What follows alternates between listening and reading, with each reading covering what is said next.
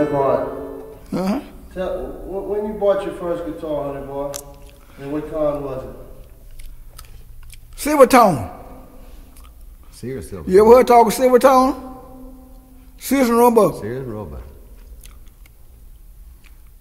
Oh, about four dollars. Oh, what, what year was that? Man, I be man, 1929. My daddy bought it for me.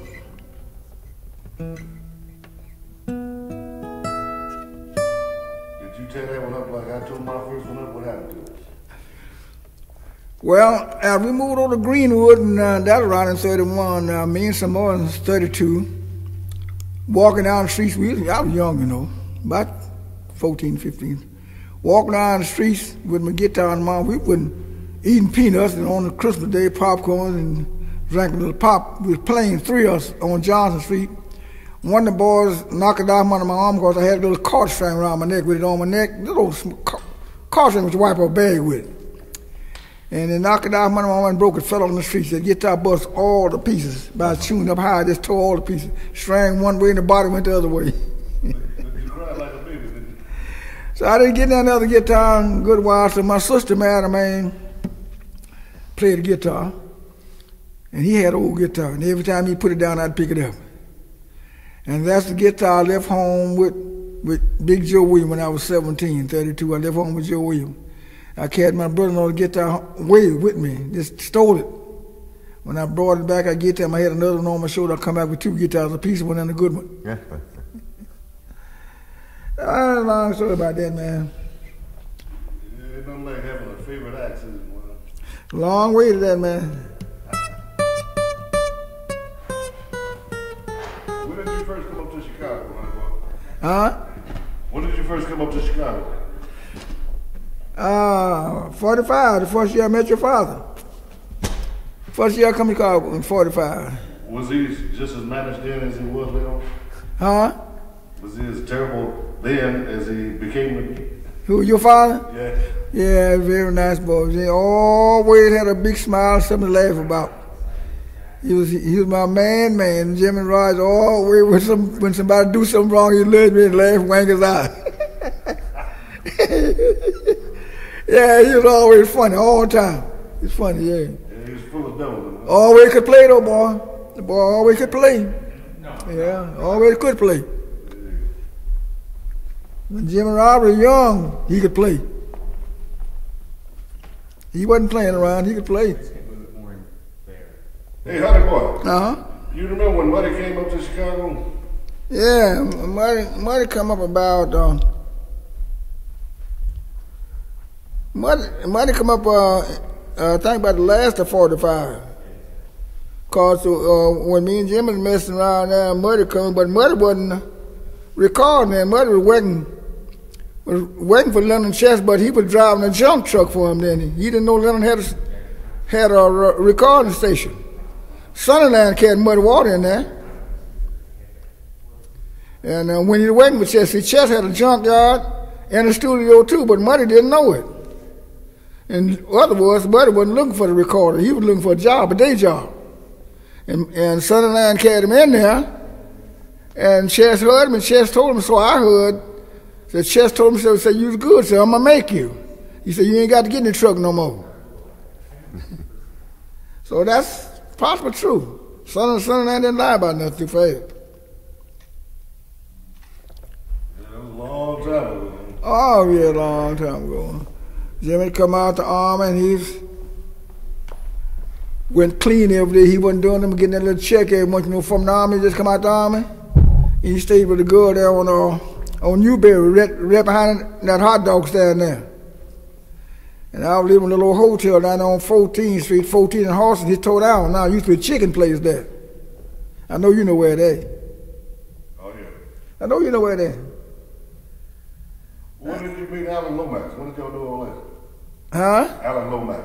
So- when, did, when did you cut for Alan? Oh, I was. That was a long time. That was three years before. uh, Four years. Three years before then. That I recall for Alan back in '42. I was 27 years old, something like that. When did you cut that at? Where, were you at? Where did you record that? Yeah. Clarksdale, Mississippi. We recorded out on and Anderson out there. uh, the same place where Muddy Water used to live on the plantation, Canyon Anderson. And uh, Adam, he went out there and rented some part of a school called the Rolling Wall School from the trustee. And we started recording in there about 12 o'clock on a Monday, Monday noon on a Friday, in July the 20th. On a Friday, on July the 20th. And we record, we started 12, recording about 12.30. And before we got through, it come up a big storm that day. I mean, something like a tornado. And we, we had to quit recording in the middle of the session and cut all the stuff loose because so much the thunder and lightning and wind was blowing. We had to cut all the electricity off. And we off about pretty close to an hour before it blowed over. Then we went back, started recording, and got the session over with. I done well. I was young then. I anything I think about playing something, everything, and uh, I've done 17 numbers for him, 17 cuts out of Little Mac. I don't know. He gave me twenty dollar bill, man. That's more money I had in my life, man. I I could live over twenty dollars three weeks, didn't you, about? I wish I could now. when did you meet Robert, Robert Johnson? Well, when, well, well, when I met Robert, I wasn't looking to meet nobody. I was just uh, hanging around in Greenwood. I I was raised around Greenwood and Shaw, and uh, I was hanging around with Tom McClennan. You ever heard talk of Tom McClennan? Oh yeah. I was hanging around with Tom McClennan, him and Robert Petway. We was messing around together there. Of course, they was older than I was too. All them niggas was older than I was, man.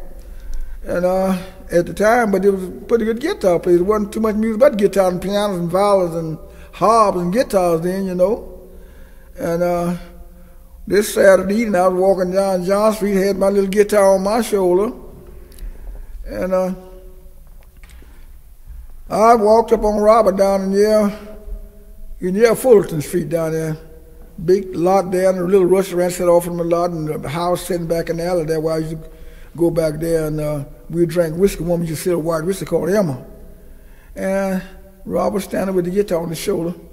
A woman came down John Street in front of me. She was about half drunk. Hey, mister says, uh, play me a Terraplane blues. If you play me a Terraplane blues, I'll give you a dime. You know, he playing for nickels and dimes anyway. He said, miss, that's my recording like that. I don't, she about drunk, so I don't care who it is, but you please, you got a dime coming. so Robert started playing them Terraplane. We were turning all around the street, hollering, shivering, and going on. She said, I believe that is that man. So that's just like that record. Robert, he filled the street full of people, and we all got back in the alley with so many people around me, I couldn't, I couldn't even get up to him then. You know, I just stood back, you know, until I got in to talk to him. I'm a little shy to guitar player, you know. I got back in the alley. And he kept the crowd there about an hour. Seeing out to quit getting them nickels down, slow down, and we started talking. Some of them seeing out, you know how to do. And I got told to him, I said, you Robert Johns? He said, he said, yeah. I know they come from Ron Robinsonville up there. I know that. Uh, because oh, he used to be around with Son House and all of them. And I said, you ever around Tunica, Mississippi? He said, yeah, I be at Tunica every other Saturday. And I said, I said, you know a girl that's called Willie Mae Powers? He said, Willie Mae? I said, yeah. He said, that's my girlfriend. I said, that's my first cousin, too. And from that then on, we started getting sick talking together, hooked up in the streets right then when I told him she was my cousin. So we started walking by me going to school around there. I know every little tavern, every little juke house around there in Greenwood, and I carried them to all the places that I know we'd play for. They'd give us whiskey and nickels and dimes. Robert loved whiskey and stuff. So when we, I, I hung with Robert Robert all of 37 until Christmas, and I left. Then I went to New Orleans, went to Vicksburg, different places, and I come back there until that he was still was there. He was playing for this man at the Three Fork where, where we made this video at. We, he was playing for that man out there. But I used to go out there and mess around with him when, uh, when he first started playing out there for the man. And uh, he played for this man, one of the juke, about seven or eight months, pretty close yeah, about seven or eight months. Because when I come back, he had been playing. Before I left, he had been playing about two months. When I come back in March, he's still playing for him. And uh, what really happened, man, he started going with the man's wife. She was a good-looking woman. Looked like hair mesh, hair hung down her back. And she had a sister live out in Greenwood. And that's where Rob was rooming out in Greenwood at uh, over in a part of the town called Baptist Town, across the Southern Railroad over there, in a little colored quarter over there. And every Monday she'd come out to Greenwood to visit her sister. Claims she coming to see her sister, but she's out there with Robert, you know, went over in Baptist Town. And uh, you know how in a small town like that, everybody everybody know each other when they see them in the streets. When it rained out in the country, people couldn't get chance to do no work out there. They come on up in town and drink some whiskey and beer, you know.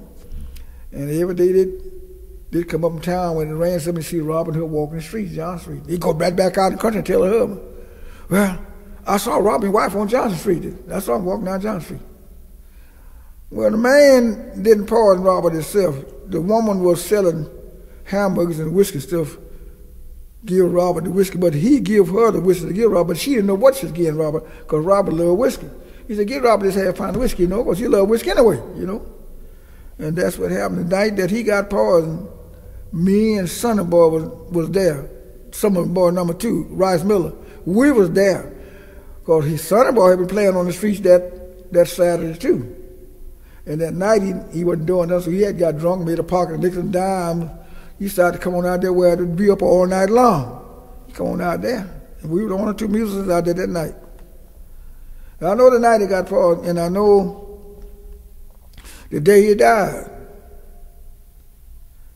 He died on the 17th day of August 1938, 70, on a Wednesday. I, I know the day he died. I was 22 years old. I got good remember. But I tell you what, a lot of people think because you used to play with the people, you should play like them. I never did. One man I used to play like, mess around with a little bit. I don't know why I do that. And I didn't like even much the keys he played in, but uh, Joe Williams. He didn't play in nothing but Spanish all the time. He made done all that recording, everything. He never done nothing natural, all in Spanish. And how he changed his keys with the capo. Change the tunes I'm talking about. Mm-hmm. Not the keys, it changed the tunes. And when you want to play in Spanish, just slide that capo right there, he got a lower sound. Got he got a higher sound. He played the same position. He made a uh, thousand records about with the same key. With the capo. Yeah. He play, he made the about all I know with Sonny Boy number one. Yeah. So that's that you don't never go by how a person play the try play in the world. That's that's that goes good sometimes. You never know. And I used to mark and believe it, but I quit. I, I to get my own style. You know what I'm talking about? That I never did try to step on nobody's step too much, but I try to learn enough of somebody's stuff to do some of it if somebody want me to do it. But I always stayed me. And when I went out in Texas, and I really changed my own style back that around in 50, 51. I changed over a, little a lot. Well, honey. Give me some of that old school stuff. Show me what you're talking about. Take me back to Mississippi. I'm gonna send you somewhere, Arkansas somewhere.